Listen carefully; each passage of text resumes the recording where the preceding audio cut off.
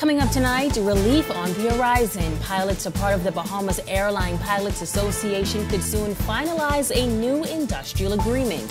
Plus, the month of March has been designated Local Government Month. The minister says it's important to recognize the impact. And later, Sweet Emily taking over the Jazz in the Garden stage over in Miami. Our Italia Hall was there. These stories and so much more as our news weekend starts now.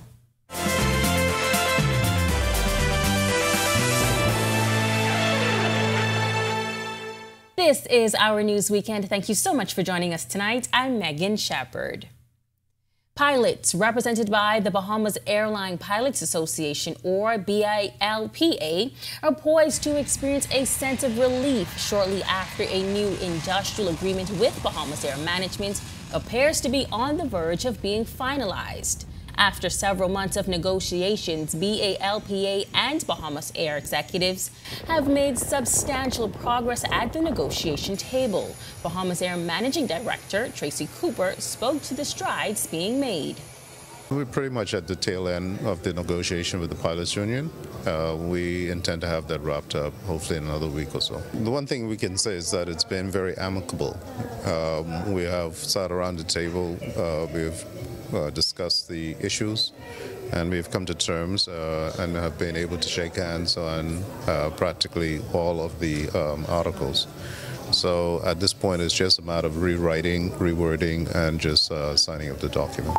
The month of March has been designated Local Government Month, established and implemented in the Family Islands in 1996. It's been praised as bringing government closer to the people, delivering public services, and providing a greater degree of autonomy to the residents of these islands. Minister of Works and Family Island Affairs Clay Sweeting says it's important to recognize the impact local government has, especially on the Family Islands.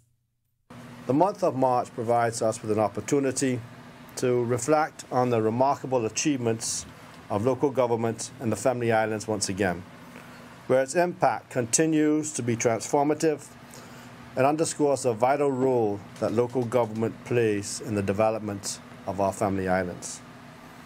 The success of local government throughout these islands is a testament to the commitment and the resilience of family island communities as we have witnessed substantial improvements in infrastructure and community service, and overall the positive impact in the lives of our family islanders and their community. The minister also highlighting the noteworthy achievements for local government in recent years, most notably the establishment of junior local government and new legislative framework. The Family Islands Affairs Minister also unveiling the lineup of events and activities over the next four weeks.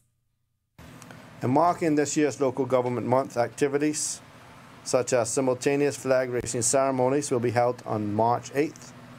And we encourage the public to join in the flag raising ceremonies throughout the Family Islands and at local government headquarters here in New Providence. Other events include local government professionals worshiping together on March 10th at various places of worship in recognition of God's blessings and guidance. Other events around the country will mark Local Government Month. We invite the public and the Family Islands to participate in all events marking Local Government Month. A gesture of international solidarity and goodwill displayed after the Chinese embassy in the Bahamas donated items that will help healthcare patients undergoing rehabilitation, providing them with increased independence and mobility. In a handover ceremony held at the Sandilands Rehabilitation Center on Thursday, Bahamas Public Hospital Authority Managing Director Dr. Kiva Thompson says the items are much needed. Mobility is a daily challenge that impacts their independence, and their quality of life. The donation of these mobility aids will not only enhance their, their ability to move around safely, but it will also provide them with a sense of freedom and dignity. With these aids, our clients will be able to participate more freely in their daily activities. They will be able to engage with others and access the services that they need. The donation includes assistive devices like wheelchairs, crutches, and walking aids. The Chinese ambassador to the Bahamas, Qingli Dai, expressing her country's commitment to assisting the Bahamas. She says the inspiration behind the donation came after Sandilands stepped in to assist Chinese residents needing care at the facility. We have a Chinese worker working in the Bahamas in the, the Thomas Robinson Stadium um, she suddenly suffered some psychiatrical problems. So Sandilands was kind enough to admit her. Actually, that was not the first time that Sandilands has treated Chinese citizens very kindly. Um, you know, a, a, couple of years ago, we have a Chinese patient here who lived here for like you know more than one year um, before she was repatriated uh, to China. Um, and she had very good care, I must say, on this facility. We were very grateful for the support and the care she was able to get. And the Sandilands even sent two doc uh, one doctor to accompany her back to China. Police in Abaco are investigating a traffic accident that has left one man with a severed limb. According to police, shortly after 10 p.m. on Saturday, the male driver of a red 2019 Nissan Frontier was traveling west on George Aubrey Boulevard when he reportedly lost control and collided with a utility pole and an unoccupied parked car. The driver, who was the sole occupant of the vehicle, suffered serious injuries, including severing his left arm. He was transported by EMS personnel to the local medical clinic for attention. He will be airlifted to New Providence for further medical care. When our news comes back from the break, we've got the sights and sounds of Sweet Emily as she brings the sweet sounds of Bahamian music to Jazz in the Gardens. Plus, the celebration of women continues. Our news highlighting amazing Bahamian women doing amazing things for the community. That's coming up when our news weekend returns.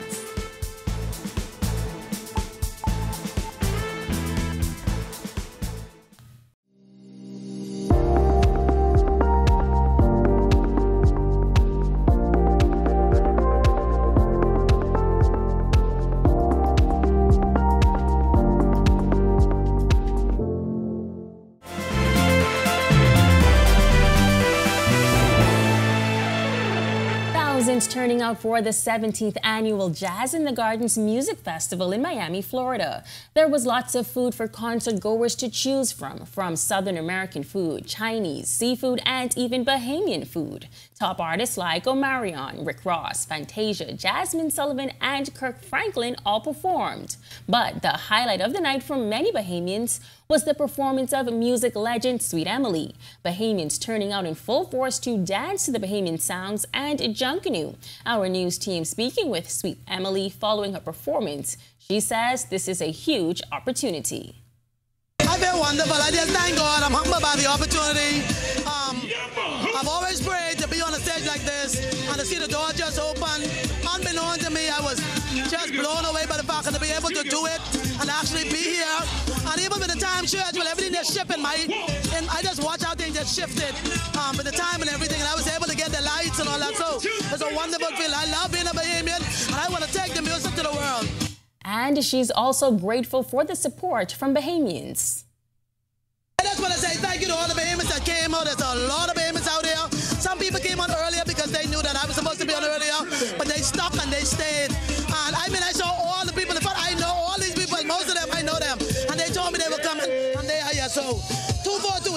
Say. Now, our Italia Hall will have a full report from the Mega Show and Sweet Emily in Monday's newscast. Be sure to tune in. Six Bahamian women coming together to provide invaluable keys to overcoming the obstacles and challenges of life. Golden Key Anthology combines the life stories of four women from the capital and two Grand Bahamians. CEO of SRS Management and Assistant Professor at the University of the Bahamas, Dr. Shamel Roll Sands, explaining to me that the book is the brainchild of Aisha Johnson.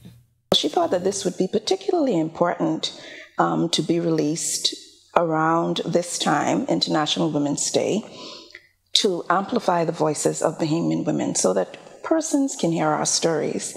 Because, as she likes to say, our stories may be about us, but they are not for us. And this is um, our way of sharing our stories. Dr. Roll Sand says she's excited to share her story and is confident the book will make an impact not only throughout the Bahamas, but the world. Here's what she hopes readers take away from the anthology. I think for me, the takeaway would be that with perseverance, persistence, planning, and prayer, and recognizing that there are times when there is power in the pivot when you need to shift in order to accomplish your goals. CEO of MBS MediSpa Diagnostics, Ava Williams, will also be sharing her personal keys to overcoming adversity. She says being a part of the anthology was a dream, as she loves to encourage, empower, and uplift others. Sometimes we find ourselves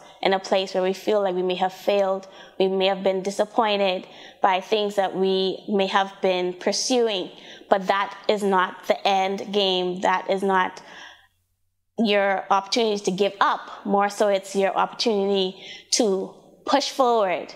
And I just want to encourage women and uh, actually even, yes, even men uh, of any background, whether it be you're an entrepreneur and you're seeking to scale your business or you're seeking to venture out into something that you haven't tried before, just knowing that it is within you, knowing that through your faith, being able to trust in God and knowing that He's going to turn everything around for your good. Friday was International Women's Day, but of course, the hard work of women across the country and around the world continues year round. Women like Adina Monroe Charlo, MBE, chairperson of the British Legion Bahamas branch. In this report, she speaks with our Marlena Leonard about the importance of finding your passion through service. Chairperson of the British Legion Bahamas branch, Adina Monroe Charlo, was recently recognized and even awarded an MBE by King Charles III after being listed on the King's New Year Honours List.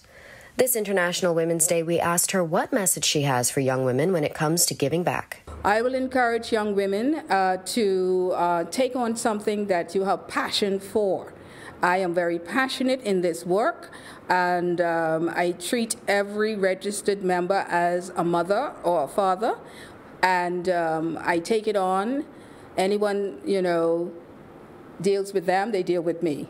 And so I represent them well, and I would encourage the women to find something that they have passion for. This year's International Women's Day theme is Inspire Inclusion, their official website describing it as a call for action to break down barriers, challenge stereotypes, and create environments where all women are valued and respected.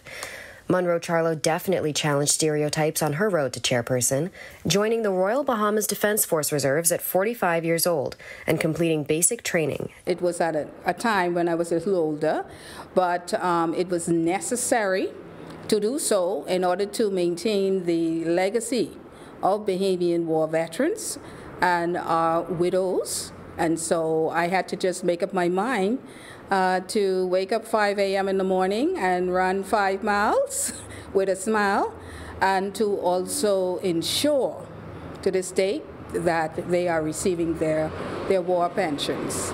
When we came to interview her for this story, she was still busy at work serving the Bahamas' remaining World War II veterans and their widows. We even got a visit from Comrade Vernon Pinder. The chairperson shares this message for women Happy International Women's Day, and um, to all the sisters and to ensure that uh, we keep our Bahamas um, in the forefront internationally and also to uh, represent our country well. Reporting for Our News, I'm Marlena Leonard. Thanks so much, Marlena. Well, ahead on Our News Weekend, Our News to the Islands continues the fun over in Acklins. Our Candino Knowles has an inside look at a five-star B&B perfect for your next getaway. Plus, the 2024 Carifta swim team is announced and the Bahamian repeats as a double NCAA indoor champion. Sunday Sports is up next.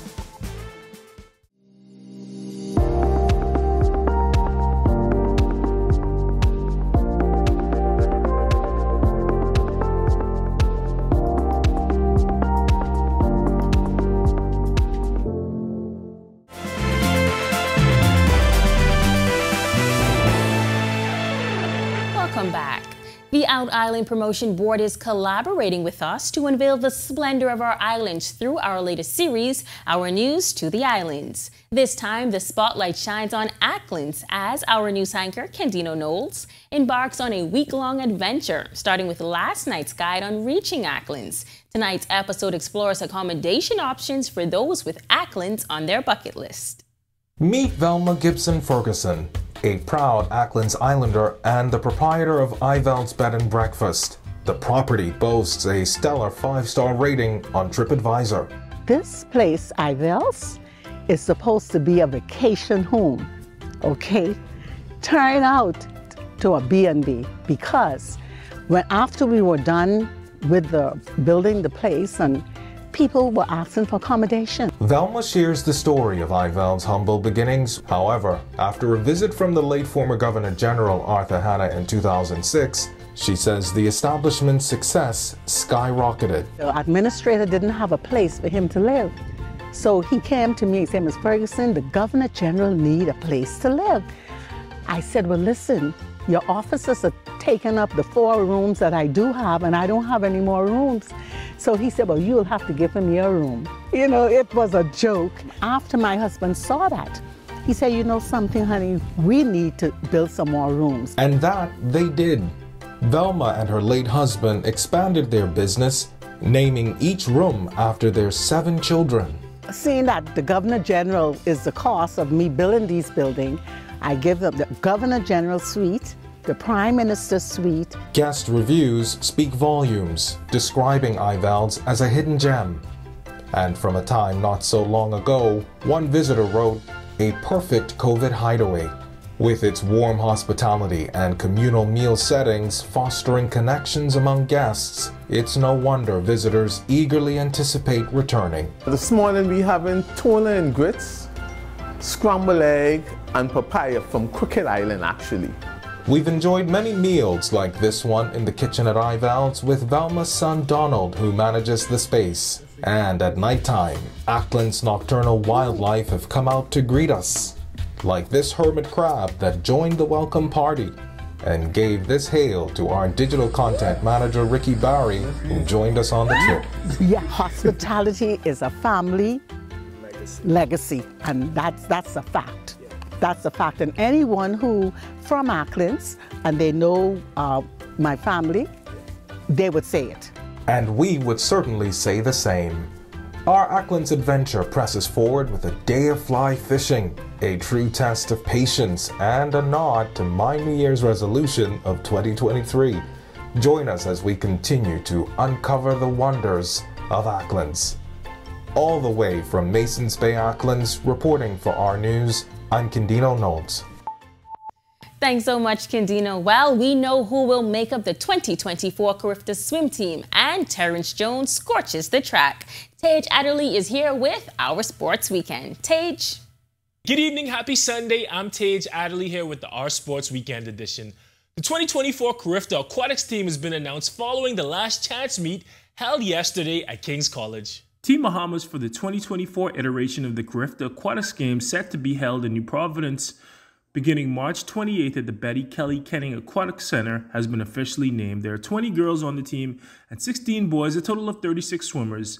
The head coach of the team is Trevano McPhee. For the complete list of team members and coaches, go to our social media pages. Now we're going to head over to the court where Coach Yo and the Rebels were ousted from the SEC Conference Tournament. The Rebels fell to the Louisiana State Tigers 75 to 67 last night in the conference tournament in Greenville, South Carolina. LSU managed to take an early lead going up 31 to 21 with 3 minutes left in the first half, but Ole Miss got themselves back in the game, bringing the game to within 1 early in the fourth. Madison Scott led the Rebels with 22.7 rebounds and 4 assists, and Marquesha Davis had 21 5 and 5. Tiger superstar forward Angel Reese had 21 points and she pounded the glass for 17 rebounds. Coach Yo has no regrets. I thought it was a fought hard game. I thought both teams really um, competed for 40 minutes. I thought, you know, you're not going to hear any crying about me about the officiating or anything like that. I thought it was a well officiated game for the most part. Now we're sticking to the NCAA, but we're going to move to the track. Terrence Jones has done it again. The Texas Tech sprinter won the national 60 meter and 200 meter titles yesterday. The sprinter from Grand Bahama took home two gold medals at the NCAA Indoor National Track and Field Championships in Boston yesterday. He won the 200 meters in a time of 20.23 seconds and the 60 in a time of 6.54. Another Bahamian, Wanya McCoy of the University of Florida, came seventh in the 200 meter race, finishing in a time of 25.60 seconds. He also came fourth in the 60 meters in a time of 6.60 seconds. Congratulations to Jones on another set of titles. He isn't done winning hardware just yet. Outdoor season is right around the corner. That does it for sports for the weekend. I'm Tage Adderley. Have a great week. Thanks, Tage. On the other side of this break, Ian McKenzie joins us from the Weather Center with a look at temperatures across the country. Stick with us.